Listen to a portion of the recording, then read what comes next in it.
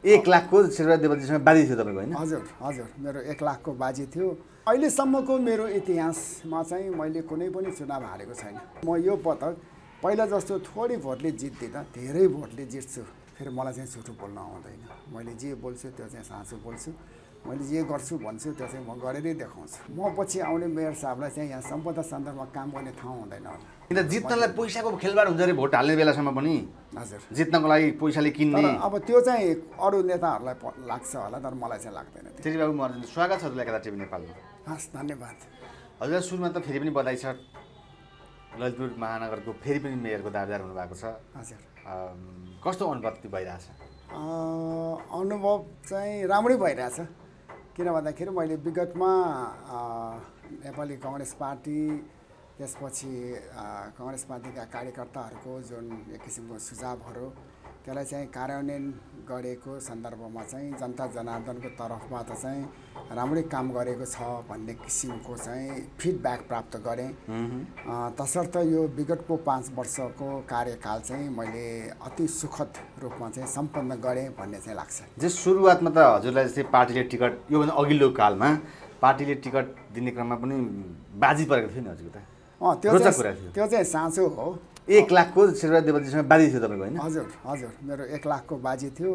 मैले जितेँ भने मैले एक सय रुपियाँ पाउने हारेँ भने एक लाख दिने भन्ने थियो। तर मैले जितेँ र अनि पार्टी सभापतिज्यूले चाहिँ मलाई एक सय होइन एक हजार रुपियाँ दिनुभयो। लिनुभयो लिएँ लिएँ मजासँग। पुरस्कार पैसा भनेको छोड्नुहुन्न अहँ। त्यसमा चाहिँ नौ सय बोनस पनि पाएँ। ओहो। यो कुरा तपाईँलाई के त्यो किन बाजी पर्नुपर्ने कारण चाहिँ पार्टीमा समस्या थियो अथवा के? होइन त्यो बेला म म तिन पटक वरक्ष भइसकेको थिएँ। यहाँ चाहिँ ज्यापु समाज भन्ने ज्यापु समाज जस्तो एउटा लार्जेस्ट कम्युनिटी बेस्ड अर्गनाइजेसनको म चाहिँ अध्यक्ष पनि भइसकेको। र र यी यी पद यी पोर्टफोलियोमा बसेर काम गर्दाखेरि मेरो कार्य सम्पादन नगरवासीहरूलाई चाहिँ राम्रो लागेको थियो। तसर्थ मेरो चाहिँ अब बेस बनेको छ भन्ने मेरो निचोड हो। र पार्टी कार्यालय ललितपुरको तर्फबाट पनि चिरीबाबुको चाहिँ बेस राम्रो छ भन्ने थियो। तर अब म चाहिँ त्यो अवस्थामा तत्क्षणमा म चाहिँ नेपाली कङ्ग्रेस केन्द्रमा चाहिँ म नयाँ नौलो थिएँ। मलाई धेरैले चिनेको थिएन। अब पार्टी सभापतिज्यूले पनि मलाई चिन्नु भएको थिएन। तसर्थ पनि महानगरपालिका जस्तो ठाउँमा मैले नाउँ नचिनेको नयाँ मान्छेलाई चाहिँ कसरी टिकट दिउँ भन्दो भन्ने चाहिँ विचार पढ्यो पढ्यो होला। अब त्यो पढ्नु पनि स्वाभाविकै हो। महानगर यत्रो महानगर। यत्रो महानगरमा हामीले लुज गऱ्यौँ भनेदेखि त राम्रो भएन नि भन्ने चाहिँ उहाँको ठम्मै रह्यो। तसर्थ मैले अब उहाँलाई बुझाउनको निमित्त मलाई अलिकति साह्रो गाह्रो चाहिँ च्यालेन्ज पर्यो। तसर्थ अब अन्ततगत बाजी राखेर मैले बुझाइदिएँ। र जित्नुको बाजी। जितेँ हजुर हजुर।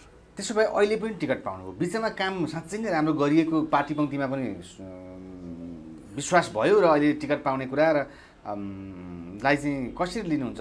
साँच्चै नै मन जितेरै यो ठाउँमा आइयो। होइन टिकट पाउनको निमित्त मलाई जहाँसम्म लाग्छ पार्टीको एउटा जुन एक किसिमको म मलाई नेपाली कङ्ग्रेस केन्द्रीय कार्य समितिले अन्ततोगत्वा मलाई पत्याउनु हो। अब त्यो पत्याउनुको आधारहरू प्रशस्तै छन्। किन भन्दाखेरि मैले यहाँ जति जति पाँच वर्षको दौरानमा जे जति कामहरू गरेँ जे जति कामहरू गरेँ त्यो काम गर्दाखेरिको अवस्थामा नगरवासीहरूलाई चाहिँ मैले शिरमा राखेर म उहाँको सेवकको रूपमा उहाँहरूको सेवकको रूपमा मैले चाहिँ कामहरू गरेँ। र यो काम गर्दै गर्दाखेरिको अवस्थामा निश्चित तौरले म नेपाली कङ्ग्रेसको तर्फबाट मेयरमा जितेको कारणले गर्दाखेरि मैले कङ्ग्रेस पार्टीको तर्फबाट जे जस्तो नीति निर्देशहरू हुन्छ ती नीति निर्देशलाई पनि मैले शिरोधार्य गर्दै तर जनताको काममा चाहिँ मैले कुनै किसिमको पक्षपात नगरिकन कुनै पनि किसिमको अप्ठ्यारो नपर्ने गरिकन मैले चाहिँ कामहरू चाहिँ राम्रोसँग गरेँ। र त्यही गरेको कारणले हुनुपर्छ। मलाई चाहिँ अहिले मलाई मलाई चाहिँ अहिले नेपाली कङ्ग्रेसको तर्फबाट पुनः पनि यो महानगरको मेयरको पदको लागि चाहिँ मैले टिकट पाएँ। टिकट पाउनुभयो। त्यो सँगसँगै अब चुनौती के के देख्नुभयो त? योभन्दा अगाडिको रिजल्ट त राम्रो हजुरले भन्नुभयो र अरूले पनि मन पराए साँच्चै नै ललितपुर महानगरपालिका वास्तवमै महानगर भएको भन्ने सबैमा छ। अरू पार्टीमा पनि। भन्न नसके पनि मनमा त राख्नु भएको होला नि। होइन अब चुनौती भन्ने कुरा चाहिँ अब एड हक बेसिसमा पनि जाँदो रहेछ। अब जे जति जे जति काम गर्दै गयौँ काम गर्दै जाँदाखेरि अवस्थामा चुनौतीहरू पनि थपिँदो रहेछ। अब त्यो त्यो तर त्यो ती चुनौतीहरू चाहिँ अब साकार गर्न नसक्ने टाइपको चुनौतीहरू त छैनन्। तर अलिकति टाइम बाई गर्ने टाइपको चुनौतीहरू चाहिँ हुँदो रहेछ। त्यस्तो नभइदिएको हुन्छ भन्ने मात्रै मेरो भनाइ हो। जस्तै अब अब उम्मेदवार उठ्दै हुनुहुन्छ अब त जित्नु पऱ्यो फेरि। हजुर। यो पनि एउटा चुनौती कतिको रूपमा लिनुभएको छ। हजुरले हुन त म जित्न हार्न जन्मेको छैन त भन्यो हो। साँच्चै नै हो हजुर हार्न जन्मिनु भएको छैन त। म अहिलेसम्मको मेरो इतिहासमा चाहिँ मैले कुनै पनि चुनाव हारेको छैन। इतिहासमै। इतिहासमै। चाहे त्यो मैले चाहिँ स्कुलमा पढ्दाखेरिको अवस्थामा त्यो जुनियर रेक्टर सर्कलको चुनाव होस् होइन? या त्यसपछि अब यहाँ चाहिँ मैले तिन तिन पदक वराध्यक्षमा चुनाव जितेँ। जब समाजको अध्यक्षमा म अध्यक्ष भएँ अब मेयर भएँ र अब अस्तिकै कुरा गर्दाखेरि म चाहिँ फ्रान्समा फ्रान्सको मेयरहरूको निम्तो मान्नको लागि म चाहिँ फ्रान्स गएको थिएँ। तर फर्केर आउँदाखेरि म चाहिँ लगभग चालिस मिनट मात्रै बाँकी थियो। हाम्रो यहाँ चाहिँ महाधिवेशन प्रतिनिधिको चाहिँ भोटिङ भइरहेको। अब त्यो बेला मैले कसैसँग भोट माग्ने मौ मौका पाइनँ। सम्भवतः मैले बिसजना जतिसँग चाहिँ फर्केर आएपछि त्यो चालिस मिनटको दौरानमा हात जोडेर भोट मागेँ। तर अब ती सबै अपार कार्यकर्ताहरूको म प्रति जुन सहानुभूति दया माया मेरो मेरो पृष्ठभूमि मैले विगतमा गरेको काम कुरोको चाहिँ जानकारी उहाँहरूलाई थाहा भएको कारणले गर्दाखेरि उहाँले मलाई माया गरेर म चाहिँ पाँचौँ पोजिसनमा मलाई जिताइदिनु भयो। जबकि म चाहिँ यहाँ अब भनौँ न धेरै नजिक हुन पाउनु भएकै थिएन। हजुर हजुर। फेरि यो त चौधौँ महाधिवेशनमा चाहिँ जितेर आएका उहाँहरू सबै नयाँ हुनुहुन्थ्यो नि त होइन? तसर्थ अब यो यो पृष्ठभूमि हेर्दाखेरि चाहिँ मलाई चाहिँ कङ्ग्रेसी कार्यकर्ताहरूले पनि धेरै माया गर्दो रहेछ भन्ने चाहिँ प्रमाणित हुन अब अहिलेको उम्मेदवार तपाईँको कम्पिटिटर प्रतिस्पर्धी पनि एमालेका एकदम तगडा तगडा व्यक्ति देखिएको छ अरू भोट काटिने कुरा भनिएको छ। अब कसरी उहाँहरूलाई सम्बोधन गर्नुहुन्छ। जित्छु भन्ने हिसाबमा के तपाईँले ढुक्क कसरी भन्नुहुन्छ भन्ने कुरा? होइन मैले उहाँलाई सम्बोधन गर्नु त पर्दैन तर मात्र मैले मेरो आफू जित्ने आधार हो। त्यो आधार चाहिँ मैले चाहिँ खोज्नुपर्छ र मैले खोजि पनि सकेको छु। र त्यसको त्यसको निर्क्युल भनेको चाहिँ म यो पटक पहिला जस्तो थोरै भोटले जित्दिनँ धेरै भोटले जित्छु। पहिलाभन्दा पनि धेरै? पहिला त तिन सय छब्बिस हो त्यो भनेको त एकदमै नगन्य हो नि त होइन? तर यो पटक चाहिँ अब म धेरै भोटले चाहिँ म जित्छु किन के विश्वास के आधार देखाउनु पोइन्ट होइन। यसमा चाहिँ अब मैले अब पहिला ललितपुर महानगरपालिका भनेको चाहिँ चुनावकै निमित्त मात्र महानगरपालिका बनाएको हो। र हिजोको कन्टेक्समा चाहिँ गाउँपालिकाहरू जति थिए त्यो चाहिँ यसमा चाहिँ मर्ज हुन आयो। तसर्थ म चाहिँ त्यो गाउँपालिकाहरूमा त्यति भिजेको मान्छे चाहिँ थिएन। तर यो विगत पाँच वर्षको दौरानमा अब मलाई चाहिँ मैले गाउँपालिकाहरूमा पनि धेरै राम्रो कामहरू गरेँ। उहाँहरूको चाहिँ मन जितिसकेको छु। तसर्थ यो गाउँ हिजोका गाउँपालिका र कार्यविनायक नगरपालिकाबाट मलाई चाहिँ ओभरवेल्मिङली भोट आउँछ भन्ने मेरो थम्याइ हो नम्बर एक। अनि दोस्रो कुरा अब मैले यो विगतको पाँच वर्षको दौरानमा अब यो महानगरपालिकामा जति काम गरेँ नि त्यो भनेको चाहिँ महानगरवासीहरूको मन छुने काम गरेको छु। मन छुने नै मन छुने गरिकन काम कहिल्यै नबिर्सिने गरी। कहिले नबिर्सिने जस्तै? अब जस्तै अब भनौँ न अहिले हामीले यहाँ चाहिँ मतलब स्मार्ट स्ट्रिट लाइट राख्यौँ होइन? त्यस्तै हामीले यहाँ धेरै पोखरीहरू हामीले बनायौँ होइन? त्यस्तै हामीले यहाँ धेरै बगैँचाहरू बनायौँ। त्यस्तै अब हामीले चाहिँ यहाँ चाहिँ कोभिडको टाइममा जनता जनार्दनलाई चाहिँ केन्द्रबिन्दुमा राखेर धेरै राम्रा कामहरू गऱ्यौँ। यावत कामहरू छन्। सम्पदा क्षेत्रमा हामीले कापलत हुने गरी काम गऱ्यौँ। यी सबै काम कुरोको पृष्ठभूमिमा चाहिँ नगरवासीहरूले चाहिँ मलाई उहाँहरूको मनमा राखेको छ भन्ने मेरो हो। जस्तै एउटा आलोचना गर्नेले गर्छन् जस्तै ललितपुरमा साँगुरा साँगुरा गल्ली धेरै छन् जस्तै पाटन जस्ता कुरा त्यस्ता त्यस्ता कुरालाई किन श्रीबाबुले हेर्नु भएन? किन। अव्यवस्थित भयो? यो कुरालाई कसरी प्रश्न होइन तपाईँले अहिले ललितपुर महानगर क्षेत्रभित्र रहेका त्यो साङ्गुडा बाटोहरूलाई चाहिँ दायाँ बायाँको घर भड्काएर ठुलो पार्ने त्यो गर्नु हुँदैन। हुँदै हुँदैन? हुँदै हुँदैन। त्यो चाहिँ किमार्थ हुँदैन। किन हुँदैन? किन गर्ने त्यो? यहाँ चाहिँ मतलब के? एउटा हिजोको ऐतिहासिक डबली चोकभित्र चाहिँ मोटर छिराउनु पर्छ भनेर बाटो घर दायाँ बायाँको घर भट्काएर चाहिँ मोटर छिराउने हो। त्यो त होइन नि। यो विकासको सूचक होइन। यो चाहिँ सम्पदालाई बचाउनु पर्छ। सम्पदा बचाउन सम्पदालाई बचाउने सन्दर्भमा चाहिँ सम्पदालाई बचाउने सन्दर्भमा चाहिँ हामीले काम गर्दाखेरि निश्चित तवरले त्यहाँको चाहिँ जुन सम्पदा छ त्यसलाई चाहिँ कुनै पनि किसिमको आँच नआउने गरिकन त्यहाँको यथास्थिति त्यहाँको भूगोललाई चाहिँ सम्बोधन गरेर हामीले चाहिँ विकास निर्माण गर्नुपर्छ। यो भन्दाखेरि अहिले तपाईँ चाहिँ ललितपुर महानगरपालिकाको हिजोको गाउँपालिकामा चाहिँ अलिकति बाँकी छ। तर हिजोको उपमहानगरपालिका तपाईँ कुनै पनि क्षेत्रमा गएर तपाईँ हेर्नुहोस् त्यहाँ चाहिँ सबै ठाउँमा विकास भइसकेको छ। तर गाडी नछिर्ने ठाउँ गाडी छिराउनु पर्छ भन्ने मान्यता म राख्दिनँ। कुरा यति हो। भनेपछि सम्पदालाई जोगाउनलाई यसो गरिएको। सम्पदा जोगाउनु पर्छ। जनतालाई कन्फ्युजनबाट हटाउनु पर्यो त्यसो भए। हजुर हजुर। त्यो चाहिँ बिस्तारै हट्छ अहिले पनि हटिरहेकै छ। यसमा चाहिँ दुविधा छैन। हामीले कुनै पनि मठ मन्दिर सिमाले देवालय लगायत यहाँका पुराना पाती पौवा यो पोखरीहरू त्यसको चाहिँ जीर्णोद्धार यति व्यापक रूपमा गरेका छौँ कि सम्भवतः अब पाँच वर्ष पछाडि म पछि आउने मेयर साहबलाई चाहिँ यहाँ सम्पदा सन्दर्भमा काम गर्ने ठाउँ हुँदैन होला। एकदम प्रदूषण छ उपत्यका भनिन्छ। ललितपुरको के छ अवस्था? फोहोरका कुरा यताउता कुरा होइन अलिकति जनताको हामीले हामीले अब प्रदूषण भन्नासाथ यसमा चाहिँ विविध विविध फ्याक्टर्सहरू रहन्छ। फोहोर मैला हरियाली प्रवर्धन आदि इत्यादि हुन्छ। अनि त्यस्तै यहाँ चाहिँ मतलब अब एक किसिमले चाहिँ फसिल फ्युल्सबाट चढ्ने चल्ने गाडीहरूको धुवा होइन? अब त्यो ट्रान्सपोर्टेसन प्रदूषण यी कुराहरूमा चाहिँ हाम्रो प्लान छ हाम्रो टार्गेट छ। हामीले त्यो बमोजिमले काम गर्दै गइरहेका छौँ। यो भनिरहँदाखेरि हामीले यहाँ चाहिँ सडकको दायाँ बायाँ हामीले हरियाली अभिवृद्धि गरिरहेका छौँ बगैँचाहरू प्रशस्त बनाइरहेका छौँ होइन? त्यस्तै अब हामीले यहाँ चाहिँ मतलब म्युनिसिपल ट्रान्सपोर्टेसन मास्टर प्लान हामीले बनाइसकेका छौँ। त्यो अन्तर्गतको चाहिँ ट्रान्सपोर्टेसनका मतलब सुधारको निमित्त गर्नुपर्ने कामहरू हामीले क्रमशः गर्दै हामी अगाडि बढिरहेका छौँ। यी कुराहरू गर्दाखेरिको अवस्थामा र अहिले हामीले ललितपुर महानगरपालिकामा चाहिँ हामीले ई बस चलाउँदैछौँ। भन्नाले? Electric bus. इलेक्ट्रिक बस भनेको उसले चाहिँ धुवा निकाल्दैन। ऊ चाहिँ उसलाई चाहिँ मतलब ऊ चाहिँ मतलब लुब्रिकेसन गर्नु पर्दैन होइन? भनेपछि त्यो बस चाहिँ निकै राम्रो हुन्छ र वातावरण मैत्री बसहरू हुन्छ। मतलब फोहोर भन्ने कुरा ललितपुरमा हुँदैन? फोहोर भन्ने कुरा ललितपुरमा चाहिँ न नहुने भन्ने कुरा छैन तर हामीले चाहिँ त्यसलाई मार्जिनली व्यवस्थापन गरिरहेका छौँ। हुन त हाम्रो पनि फोहोर गाह्रो काम हो नि यो। हाम्रो पनि फोहोरको अन्तिम गन्तव्य भनेको सिसडोल नै हो। तर तर त्यहाँको अस्तव्यस्तताको कारणले गर्दाखेरि हाम्रोमा पनि यहाँ समस्या निस्किरहन्छ। तर त्यो निस्केको समस्यालाई चाहिँ हामीले मार्जिनली मार्जिनली व्यवस्थापन गरिरहेका छौँ।